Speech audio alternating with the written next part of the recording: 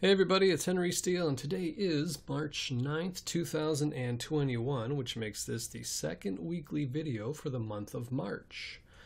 Now, in the previous weekly video, I talked about a mathematical method. And I showed it and explained it to you on the Euro US dollar one hour chart.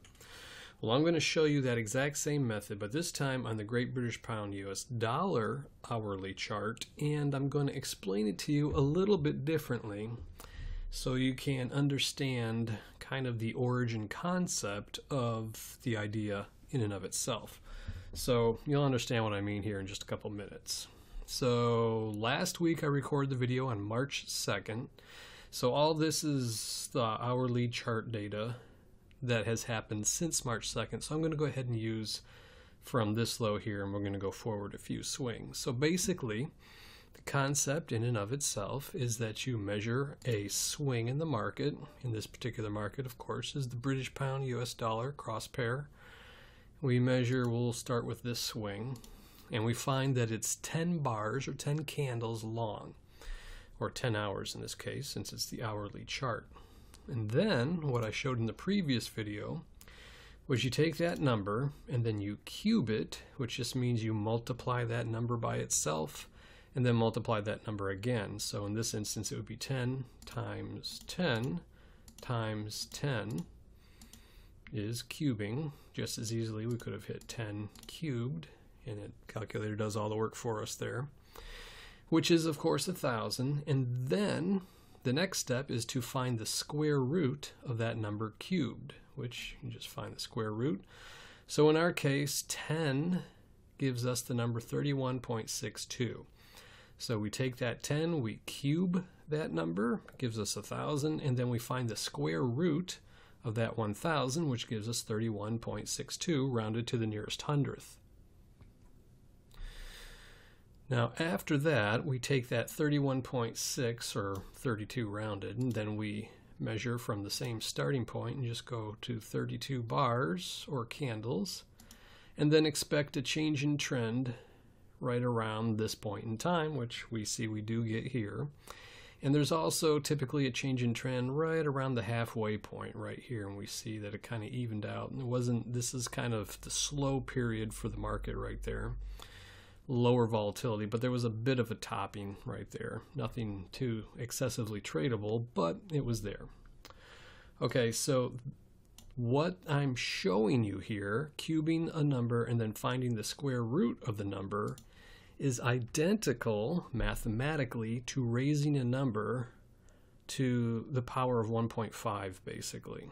So here's what I mean. We can use the x raised to y button right here and take that same number 10, push this button, and then push 1.5 and then push equals, and we get that same number 31.62. So what's happening is we're raising that number by the power of 1.5 essentially. So you know the importance, or uh, hopefully by now, if you've been watching my channel for very long, you understand the importance of a 50% increase in price or a 50% segment of time, things like that nature. One half of something is extremely important, and that's where raising something to the power of 1.5, that concept comes from. So in the previous video, what I did was showed you the longhand of that, essentially, the easy mathematical way around it. Now, obviously, if you don't have a calculator, it becomes a bit harder to do that math, unless, of course, you take the long route, which was to cube the number and then find the square root. But with the advent of technology, we, of course, do have something as simple as these um, scientific calculators here. Windows calculator has it, and there's, you know, online you can find many calculators. Most people have cell phones these days, since the cell phones have calculators that can do pretty much the same thing.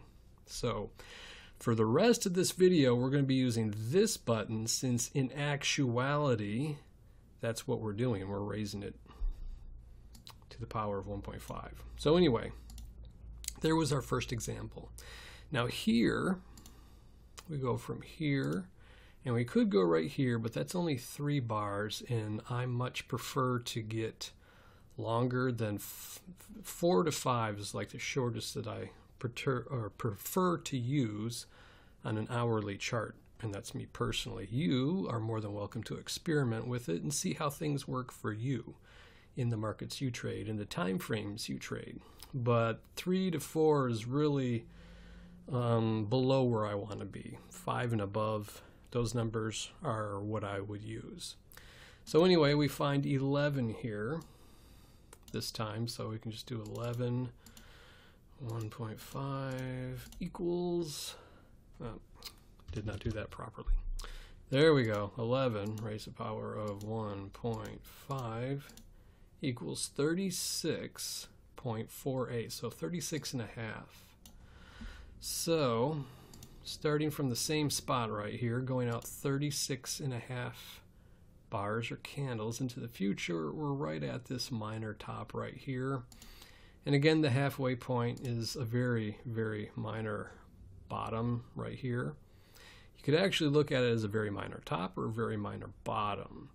But because we're dealing with an hourly time frame on a cross pair, currency cross pair, where we're not in a whole lot of volatility, we're not going to get huge swings because this swing right from this bottom here to this top right here, that was a bigger swing in what's been going on here, and that was only 100 pips. So these swings aren't going to net you hundreds and hundreds of pips on an hourly chart, but you can still um, scalp yourself a good 5 to 20, 20, 25 pips, something like that. Anyway, moving forward, we have this low right here, and then going to this high right there gives us only three bars or candles. So I don't really want to use that. So I'm going to start from this high. I'm just going to skip that minor swing there. Start from this high and then go to this low, which is six bars or candles. Bring the calculator back up. 6 raised to the power of 1.5 equals approximately 15 rounded.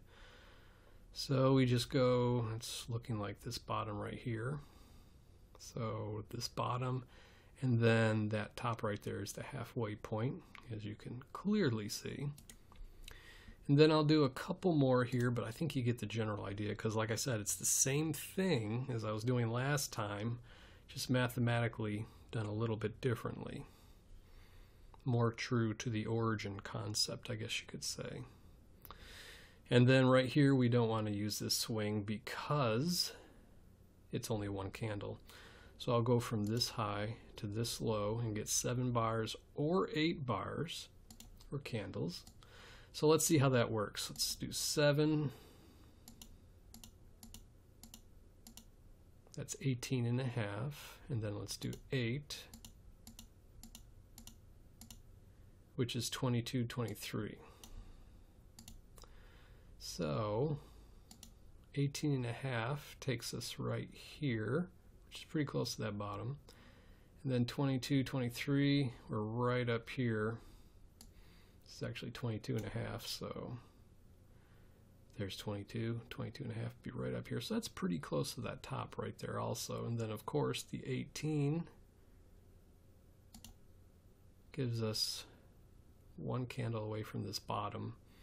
And then the 22 and a half would be two candles further. One, two. So it would be at this very minor, well, technically that's the end of a very small triangle. Like I said, using this on the hourly chart is, especially for the Great British Pound US dollar right here, you're going to get smaller swings.